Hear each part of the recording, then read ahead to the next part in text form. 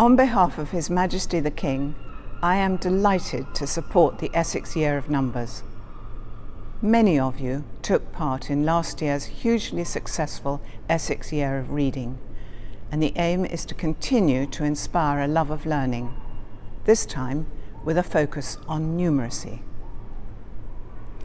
As the representative of the King in our county, I'm inviting you to enter an exciting competition. I look forward to visiting you at your school later in the year to present certificates for all entries and award prizes for the most creative. Two of my deputies will explain how you can get involved and celebrate with us the Year of Numbers.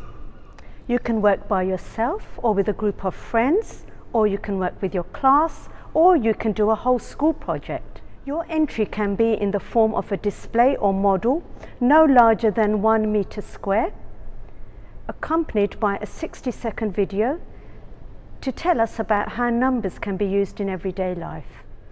The display may include photographs, 3D models, drawings, just be creative. There are so many ways that we use numbers in our everyday lives.